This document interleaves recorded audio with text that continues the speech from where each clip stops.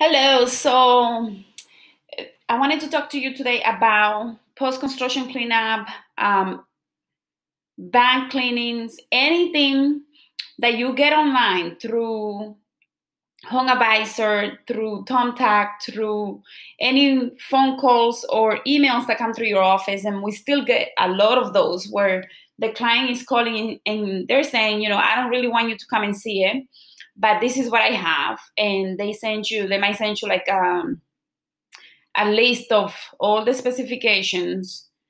And or sometimes they don't send you anything. They just tell you, I have a 2,000 square feet account. Can you give me a price before you come out? And my answer is always don't ever give them a price unless it is within your company policy not to go out and see one-time cleanings or post-construction cleanings that are smaller than a specific uh, square footage. So, for example, we have a specific square footage, and we don't go out to see those accounts unless it goes over that that amount. So, let's say it's four thousand square feet. We don't we do not go out to see any accounts on the commercial side unless they go above that certain square footage. And the reason why is because anything below that, we know that we're going to charge them let's say we're going to have a minimum charge. Let's say it's 2,000 square feet and the minimum square footage we require to do in on-site 2,000 square feet. So if we have an account that is 2,000 square feet and or 1,800 square feet, and they say, "Can you come out and do a, uh, and do an on-site?" We say no we don't want to do it on we would love to do it on site but first let me give you the average pricing for in account that size. That way if it's not worth your time it's not worth your time. So we got to the point where we can say that. But if you're just starting out and you need to get accounts you will definitely want to go out and see them.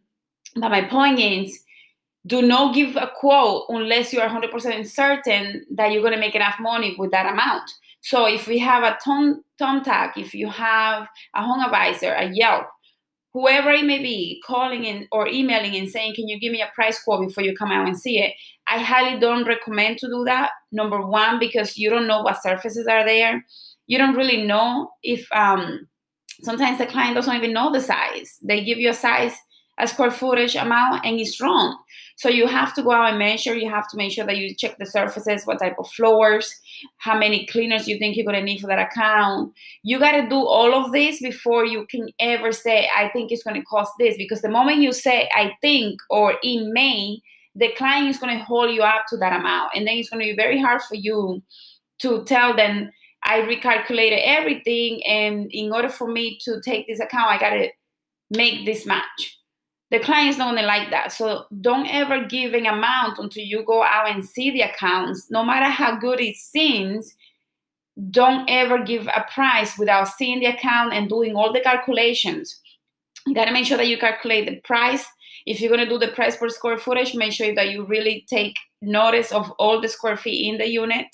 If you're gonna do it by the hourly rate, you gotta make sure that you calculate all the square footage, all the surfaces, and then you go line by line. How long is it going to take you to wipe the sink handles? How many sink handles there are? How long is it going to take you to vacuum the floor? What's the square footage of the floor?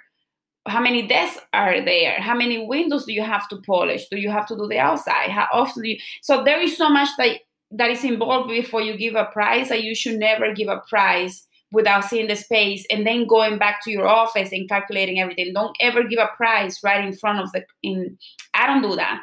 Number one you don't really know how much it's going to take you because you're you're not there to calculate everything right? Unless the client is going to wait with you and they're going to wait for you to calculate everything you're not going to give them the right price. You might be shooting yourself in the foot by doing that because you want to get the client you want them to sign a contract if you really that in that hurry they, they will notice and they will take advantage of that. So again don't ever give prices um, without going to see those construction or commercial accounts. Highly recommend for you to do your homework and make sure that you know what your expenses are so you can make money. We hear all the time people go out and give really really low prices and they don't make enough money. So i hope this helped. Um, let me know if there's anything else that i can help you with